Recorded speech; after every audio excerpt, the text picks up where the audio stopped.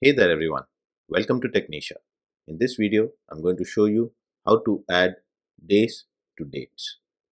Here in column B, we have some dates. Let's say that we want to add some days to all these dates. There are multiple ways to do it, but I'm going to show you two easy ways to do the same. In cell C3, let's put the number of days we want to add to all these dates. Let's pick 5. And in cell C6, we should type in the formula as equal to let's pick B6 plus cell C3. Now we need to fix C3 because we are going to use the same cell to add to all these dates. So let's click F4 and this will fix the cell C3 there. So to the date 5 1 21 we've added 5 days which results in 5 6 21 I can just double click the formula over and to all these dates we've added 5 days. When we change the value in cell C3 all the dates in the column C should get updated. So let me put this as 45 days. And uh, this date in cell C3 we've now added 45 days. This method does not change our inherent date. It just adds to this date the number of days we add.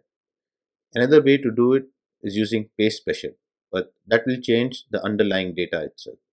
So let's say that we want to add 25 days to our date. We need to copy this cell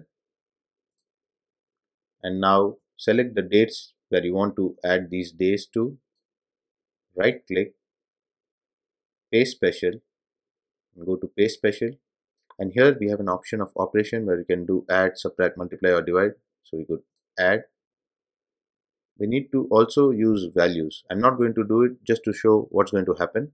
And i say okay the number of days has been added to this date but it's gone to the inherent format of excel which is just showing numbers as excel stores dates as numbers.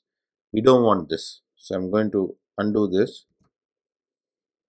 And again copy, select our dates, paste special, go to paste special,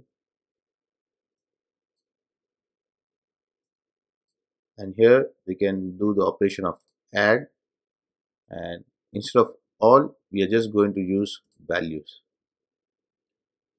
Note the dates here and I press OK.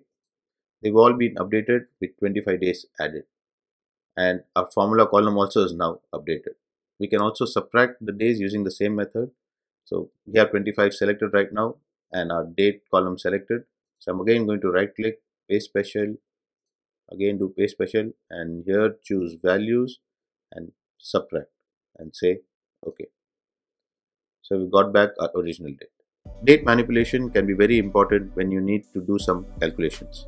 I hope that this tutorial was of use to you. If you liked it, please subscribe to my channel. Till next time, ciao.